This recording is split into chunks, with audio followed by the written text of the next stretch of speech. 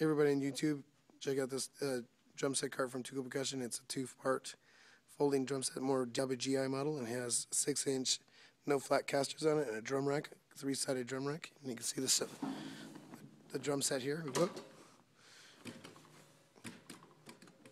There it is. Folds up. It has a tow handle, which we put underneath, and has a tow strap on the other side.